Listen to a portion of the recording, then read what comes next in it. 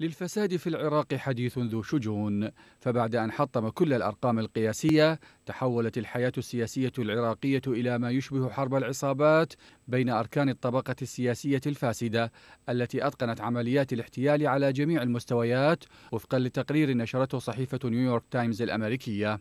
التقرير أكد أن زعيم حزب الدعوة ورئيس الحكومة الأسبق نور المالكي هو أكثر من ساعد على تفشي الفساد في العراق وساهم في تشكيل شبكات تولت سرقة المال العام. ويعرف المالكي بأنه من أكثر الشخصيات المقربة من إيران كما يواجه تهما بتسهيل سيطرة داعش على مساحات واسعة في العراق عام 2014 إلى جانب ذلك قدر التقرير حجب الأموال التي نهبها السياسيون بما يتراوح بين 150 إلى 300 مليار دولار تم إيداعها في بنوك خارج البلاد.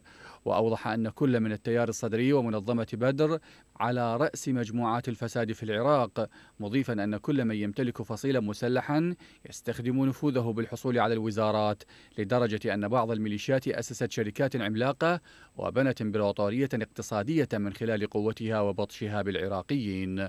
وكشف التقرير عن إحدى حالات الفساد حين سحب أحد البنوك الأهلية مبلغ أربعة مليارات دولار من البنك المركزي العراقي. ليتبين فيما بعد أن البنك الأهلي لا يحتوي سوى على غرفة واحدة وكمبيوتر لافتا إلى أن أموال القروض التي يطلبها العراق تشهد عمليات غسيل أموال كبيرة في المصارف الحكومية والبنك المركزي.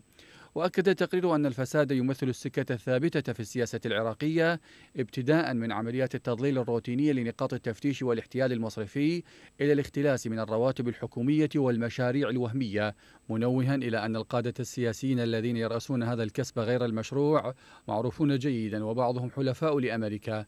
لكن مجرد كشف هذا الفساد من قبل أي شخص فإنه قد يؤدي إلى قتله وربما قتل عائلته بالكامل.